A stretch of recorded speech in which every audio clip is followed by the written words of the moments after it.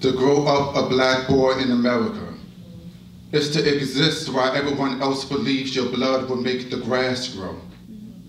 As if you were made out of magic. It is to live with an identity crisis even when you become a man that will look at you and think, boy, will shoot you without thinking if you're in your local park and you're holding the wrong toys.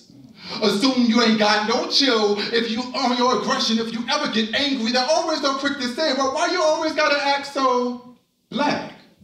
And not all you so cute, you could go with any color, black, but the other black, the other human, the other white, the other name turned into a hashtag before a college graduate. Black boys, don't believe what they tell you like. You're not supposed to feel or cry or feel any other emotion besides pride in evoking a clutch purse. But this was nothing special, no an accomplishment. Because if a black boy graduates from college and the police happen to kill him, that would search his Instagram for the most niggardly image of his likeness. Because he was never anything special. He never had any accomplishments after all. He's black in America.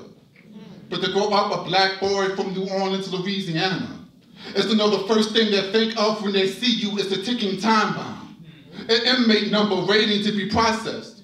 A cadaver that has escaped his body bag. Black boys in the South don't feel no pain. Black boys down here don't break.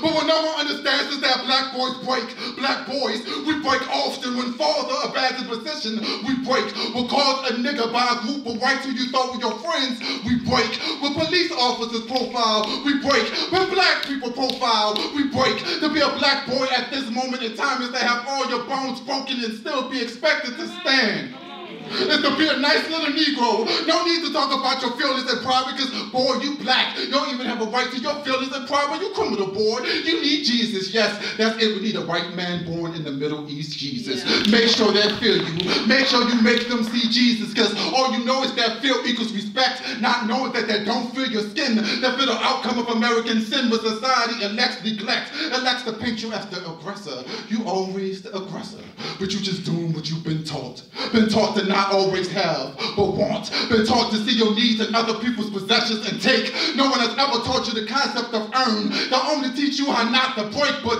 if black boys don't break, how come you could die so easy? A black boy, a demon like the police reports claim, I come without any holy water, no crucifix, he died so easy, so often, a closed casket funeral, easy death for hard life, so often, it's so strange, ain't it?